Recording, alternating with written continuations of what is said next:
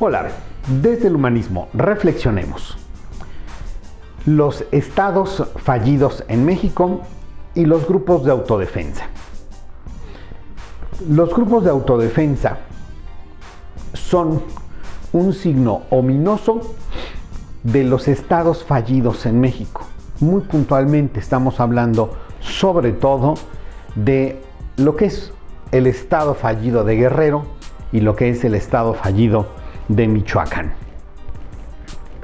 Las, los grupos de autodefensa lo único que, que nos muestran es ya un estado en descomposición, en donde la fuerza gubernamental, la presencia del Estado, ha quedado prácticamente desaparecida y donde toma el control el crimen organizado.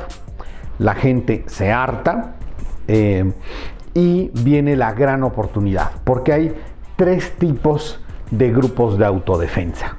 El primero, el grupo de autodefensa, digamos, auténtico, que eh, en verdad es grupos de ciudadanos que están hartos de que los secuestren, los extorsionen, los vejen y se arman y a los fregadazos.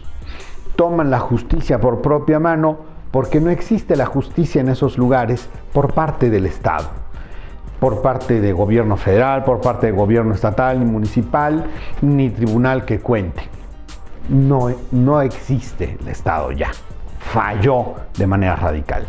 Estos se levantan y llegan al grado, como en el caso de Michoacán, a enfrentarse hasta el mismo ejército. El otro grupo de autodefensas es el que está eh, promovido y tomado ya en muchos casos, eh, sobre todo en Guerrero, por grupos subversivos que ven en esta coyuntura una buena manera de eh, justificarse ante la población y empezar sus acciones revolucionarias ya en terreno y a la vista de todo mundo.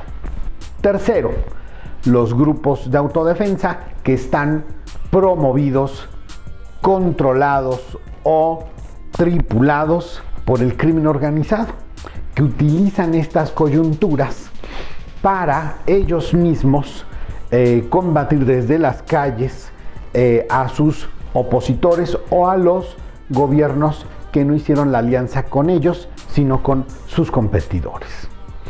Esto nos lleva a un panorama muy desalentador.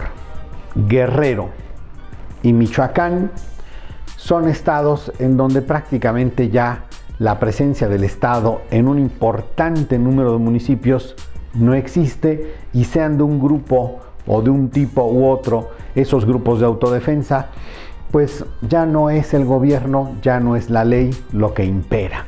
En Michoacán la situación es poco más grave ya que por lo menos en 27 municipios y avanzando, los grupos de autodefensa en esta combinación tripartita eh, han tomado ya el control, el margen de un gobierno que muy acusadamente viene a tomar eh, o ganar una elección por componenda con el crimen organizado, queda reducido su margen de acción gubernamental casi a nada y se suscitan los problemas eh, una y otra vez ante una falta ya casi total de poder.